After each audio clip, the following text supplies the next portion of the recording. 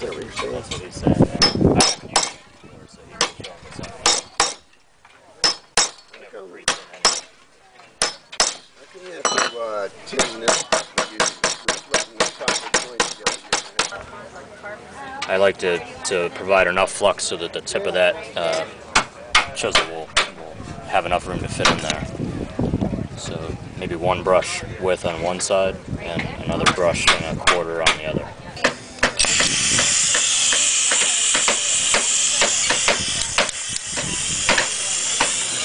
Um, you can see that there's some dross on the tip and uh, the brown coloring. If the iron's up to temperature, I'll dip it in here and it takes it all right off, nice and shiny and clean. So what's in there? That's one third ruby fluid and two thirds water.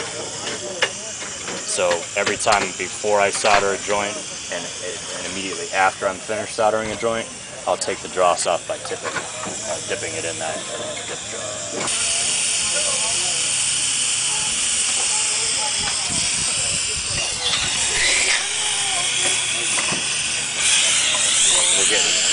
What is that there that you just put on that tip? This is a, a Laco flux. Got the, actually has lead in it.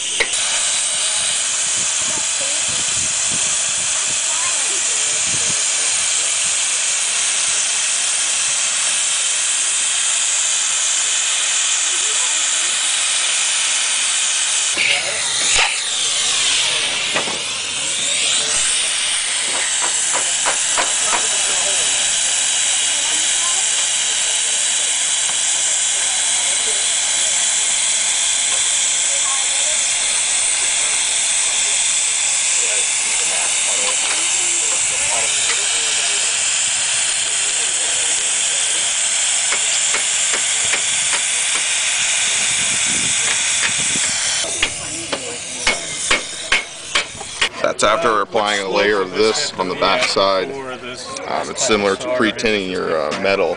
And I'm just walking that back and forth, one end of the iron to the other. When you dip your iron, is that just dipping it into flux? That's one third ruby fluid and two thirds water. And what that does is, if we look at the bottom side, well, there's not really much dross on this. Um, you can see a few brown specks right there on the tip. Those are dirt and imperfections that are coming out of the solder joint, and that uh, does not allow the, the solder to conduct the heat as effectively to the copper. So what I want to do is clean that tip off, and you just dip it really quickly, and you can see that that comes off really nice and clean. It's called ruby? Ruby fluid. Ruby fluid. That's this stuff right here. Oh, okay.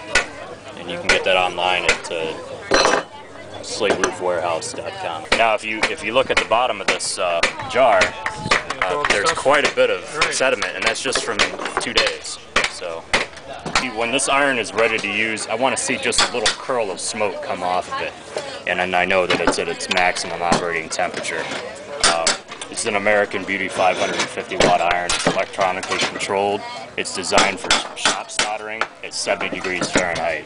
So if ambient temperatures drop down below 70 degrees, we revert back to either an acetylene torch, like Liam's using, or a propane fire torch.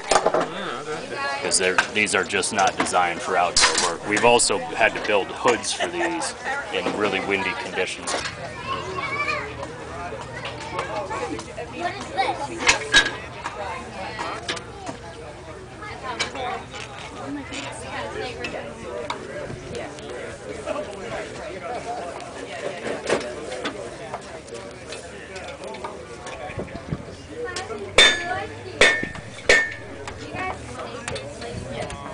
Uh, when I do a vertical joint like this, it's lap seam, I want to start at the top of the joint with my iron, leaving the horizontal joint undone so that when I get down to the bottom of the joint, I'm going to make one pass from the top to the bottom, and I'm usually left with some excess solder here at the bottom as it runs down a little bit, and I'll draw that back across the joint so that I don't end up with a big pile here.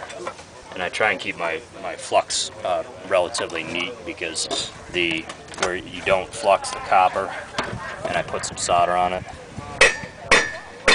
it doesn't stick.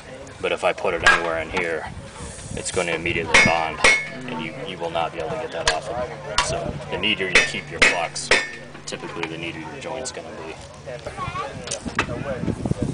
I'm actually gonna hit pre- pre-tin this a little bit vertically, try and get some solder stuck to both surfaces, because I wasn't able to, to get that joint as flat as I usually like it.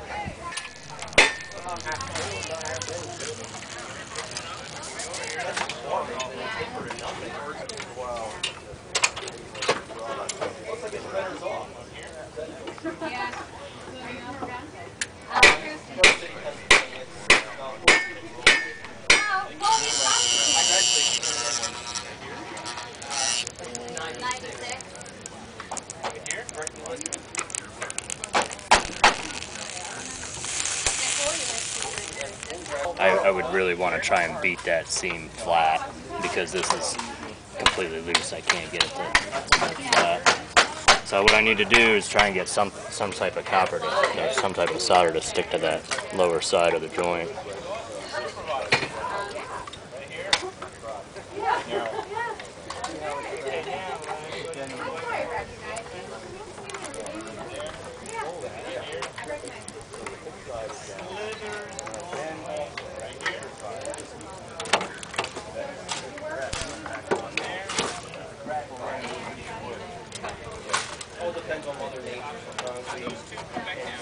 Now that I've heated up the copper a little bit, I'm gonna put down the iron and beat that thing flat.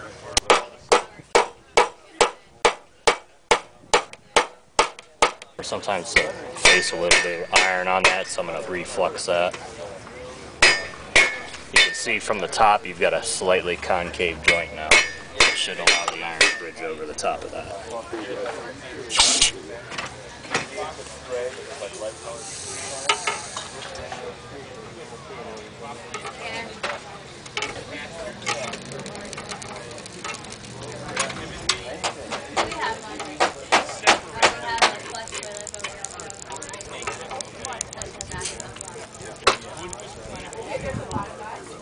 Oh yeah, that one, yeah. Well, there's just him and I, but I mean, we use the number. Yeah,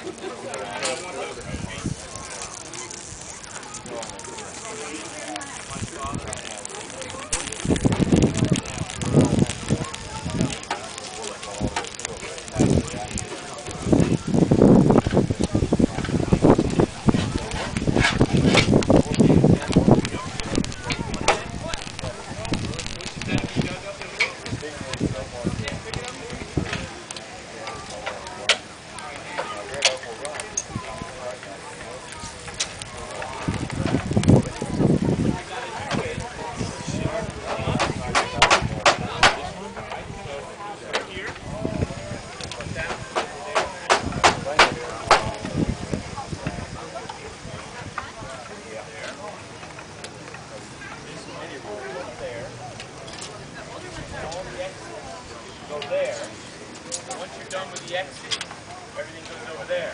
Got it? And I know I'm soldering over one of the blind clips here. I can see a little bit more ridging because the mass of the metal of the clip is drawing the heat away. So I'm gonna make my puddle a little bit bigger and slow down.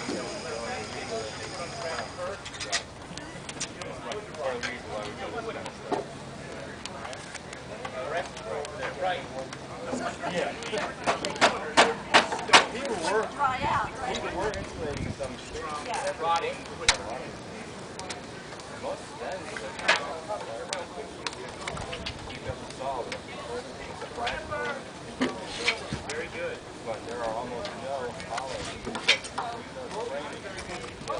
wall studs and plates and scrapings on the wall.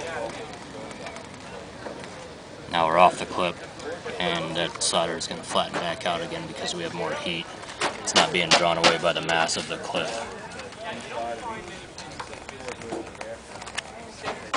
The clip is the little piece of metal here that is uh, underneath there that holds the uh, copper to the deck, the substrate.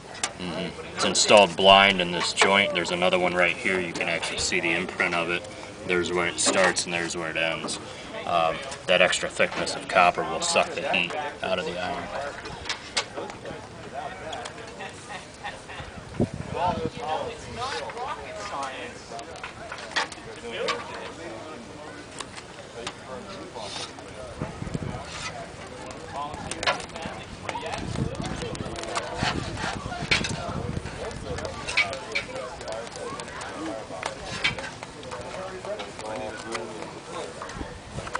See a little bit of that dross coming out of the joint. That's dirt, uh, imperfections, impurities. I'm, I'm speaking about that, that black, blackish brown gunk that comes out of the joint.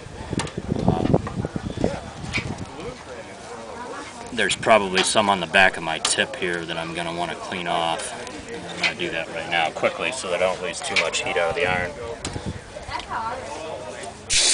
Dip it in there, that tip comes out nice and clean. And get back onto the copper as quickly as possible so I don't lose that heat. This is a flat lock. You see, um, copper. So, uh, you know, you see a lot on like bay windows. where You see that. Yeah, We do a lot of metal work.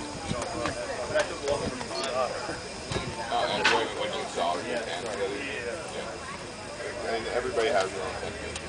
You guys just do a lot more, a lot more solder to it, or do you just?